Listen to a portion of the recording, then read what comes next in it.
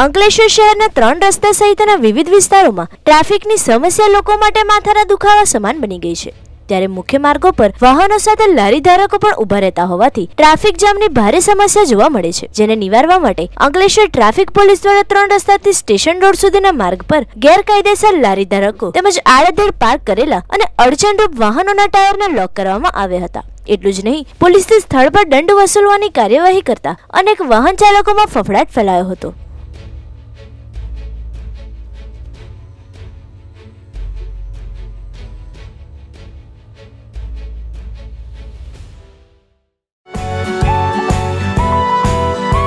અને ગુજરાતની યુટ્યુબ ચેનલને સબસ્ક્રાઇબ કરી ક્લિક કરો બેલ આઇકન અને મેળવો વિશ્વભરના ન્યૂઝ અપડેટ